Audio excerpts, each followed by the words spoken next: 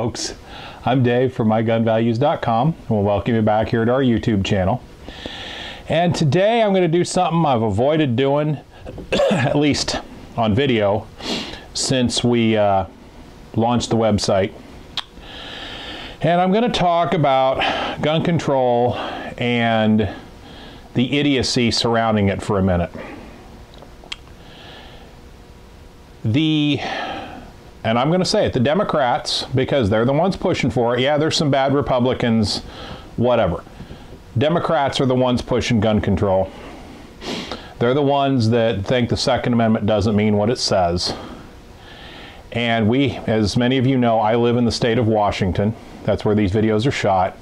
And this past week, our beloved Attorney General announced he's going to be introducing legislation to ban assault weapons. As you, me, and anybody else who's watching this video probably knows, uh, assault weapons have a selector switch making them capable of fully automatic fire.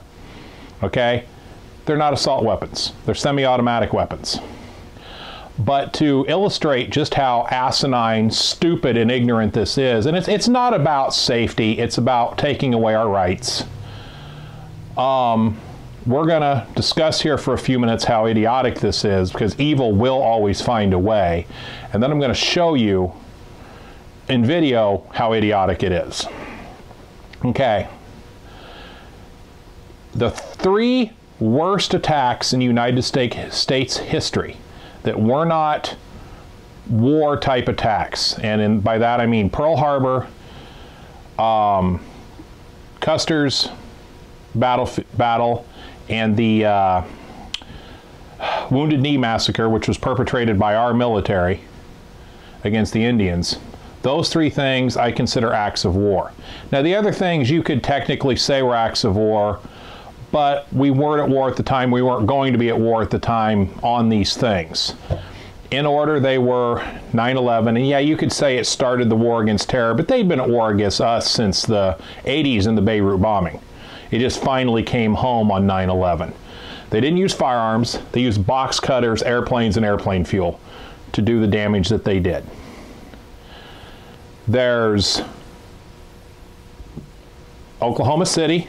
That was a nitrate fertilizer bomb. Again, no firearms used to kill anybody in that. And there was the Bath, Michigan school massacre. If you've never heard of it, look it up. It was in the late 20s, early 30s, and the perpetrator used dynamite to kill, I believe, 55 people. So guns weren't used. That's my point. Evil will always find a way. If we take away the, the assault weapons and we surrender our rights to these clowns, then they're just going to go on, and pretty soon it won't be AR 15s. It'll be remember the Saturday Night Special fiasco of the 80s, okay? It'll be all semi-automatics. Then it'll be all pumps. Then it'll be all lever actions. Then it'll be all bolt actions. Pretty soon you're going to be in the situation you're at in England where you can own a shotgun but it's got to be locked up at a gun club and it doesn't do you any good to protect your house. Okay, guns are a part of the American culture. They always have been, they always will be, despite what these namby-pamby, worthless politicians have to say.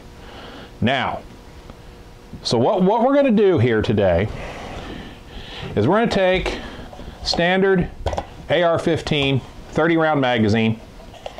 Okay, it's empty as you can see. This is an Olympic Arms basic carbine, although it has the detachable carry handle on it. 16 inch barrel. The only modification that's been done to this is the factory Olympic Arms trigger was replaced with a JARD trigger. That's the only modification that's been done to this gun. Other than that, it's as sold. We're going to shoot one 30 round magazine through this thing. There's going to be 30 uh, water bottles set up that you can see this thing fired at. And then we'll compare how this does against this. This is a Mossberg 835 pump. Okay, it's a waterfowl model. It's not a tactical model by any means, but I thought this would illustrate just, I mean, this is a gun that to hear the anti-gunners, it's not on their radar screen. Don't believe it. But this is a basic waterfowl hunting shotgun. holds three rounds of three and a half inch shells with the blocking tube in the magazine. However, you remove the blocking tube, you can put five two and three quarter inch shells in the magazine and one in the chamber. Okay, that's, you know, and you can do that as long as you're not hunting with it. Hunting regulations say you've got to only have uh, three shells, which is fine. So I've removed the, the uh, blocking pin on this so it will hold six. I'm going to start out with the AR-15 shooting, uh, you know, chamber and shoot that, and we're going to shoot this. And I figure I can shoot roughly three magazine fulls through this thing in the same amount of time it takes me to shoot one 30 round magazine through the AR. Now the point of this is there are shotguns out there that are tactical that hold 10 rounds. There's even one out there that holds 16 rounds. Um, which is, if you haven't seen it, it's the SRM um, shotgun. Looks interesting. I haven't had the chance to try one yet, but it looks like an interesting model. My point is, it's not going to stop with the ARs. It's just a good starting point for them. Pretty soon it's going to be everything. That's what they want. That's what they've always wanted. So I'll get down off my soapbox now because I'm sick and tired of people who think they know how to live their life better than I do. And we're going to take these out and we're going to shoot them. And as soon as we're done shooting them, We'll bring them back in and we'll, we'll talk about the results. Now, when I, when I do talk about the results today, I won't have had time to watch the videos side by side to see what the time difference is. But I've done this experiment before and one time there was an 8 second difference and one time there was a 16 second difference. But again, keep in mind, this is only holding six rounds. Imagine if you had a tactical with 10 or two tacticals with 10. You can buy those tactical shotguns for three pumps for $379 all day long. Okay, this AR-15, this base model from Olympic Arms, run you about seven, 800 new. So anybody intent on doing mayhem can buy two of these and have change, spare change left over for what one AR-15 costs. And you can do the same amount of damage in virtually the same amount of time, and that's my point. So I'll go get these fired up and then we'll, we'll come back in and we'll discuss the results. Okay, this is the 12 gauge portion of our program.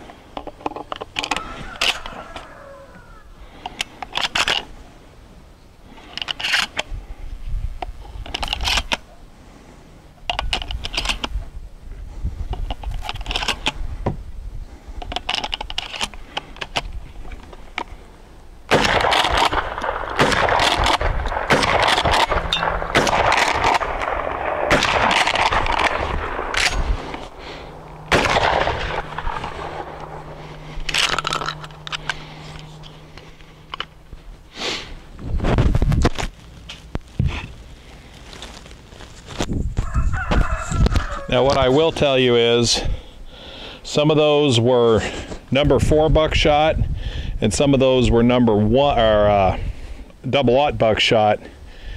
And I think the double aughts, the patterns were just too thin to hit the bottles, but they could certainly hit a bigger target.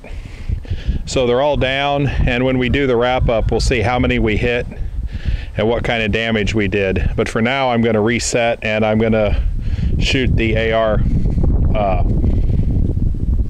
set of targets. Okay, this is one 30 round magazine of Nosler ballistic tips through an AR-15.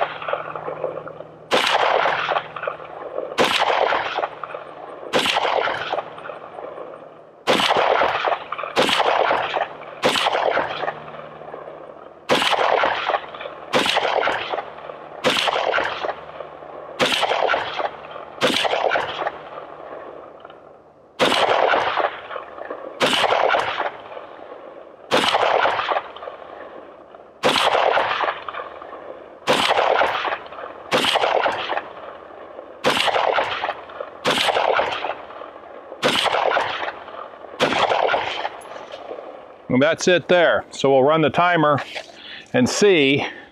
As you can see, about the first half dozen, I really screwed the pooch on shooting those. I wasn't hitting my targets at all. We're only at uh, between 15 and 25 yards here, so that gives you an idea.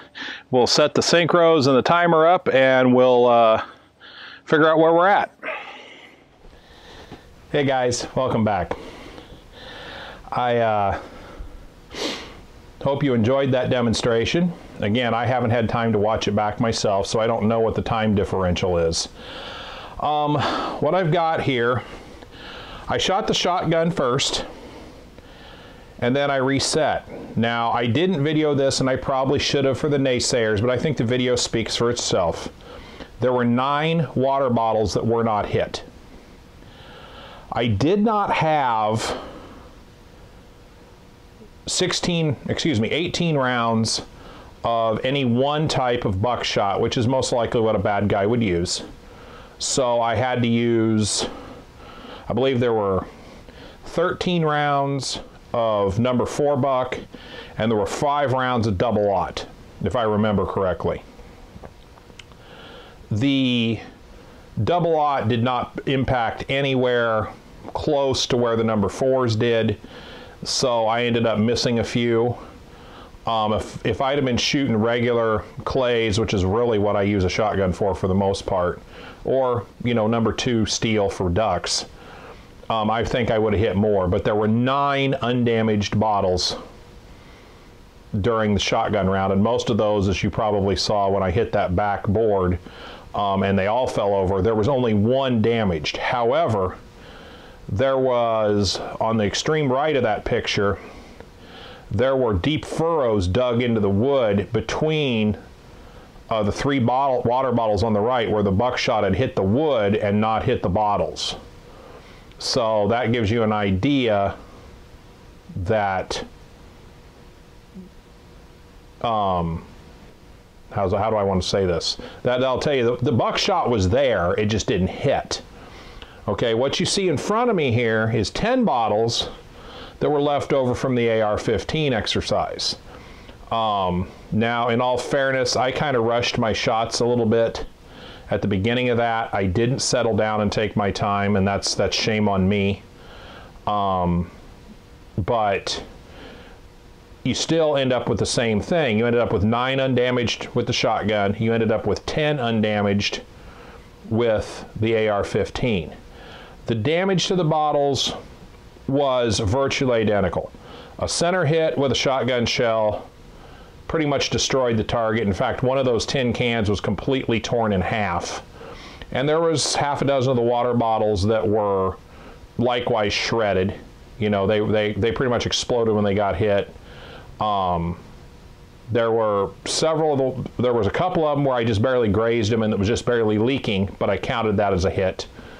So it gives you an idea a bad guy can take an ordinary hunting gun and turn it into something for evil. The, I cannot stress strongly enough how idiotic the, the gun control people are. Unless you want to ban them all, in which case you'll have the situation you have in Britain crime against people has gone up by like 900% because people know they can't defend themselves. And none of us, we're Americans. Our founding fathers founded this country with a Second Amendment, not for hunting, not for self defense in the, in the sense we think about it today, but in, the, in a tyrannical government can not exist with an armed populace. We're close to that today, where they just walk in and do whatever they want to do. But the fact of the matter is, it would be worse if we weren't armed, because they know that puts limits on them. The American Revolution started because, I mean, started as a shooting war because the British marched on Lexington and Concord to do what? To confiscate the colonists' arms.